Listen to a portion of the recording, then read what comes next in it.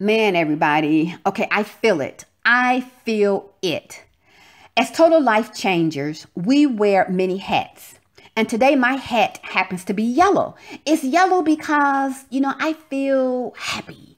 I feel joy. I feel like the sun, you know? And usually when I feel like this, it's like one, two, or three o'clock in the morning after I finish exercising. So I had to express myself while I am feeling it. And what I feel is what I know. And what I know is the fact that I get paid to do what I love to do. And what I love to do is turn ideas into concepts and concepts into reality. And the reality is health is the new wealth. And I get paid to do it.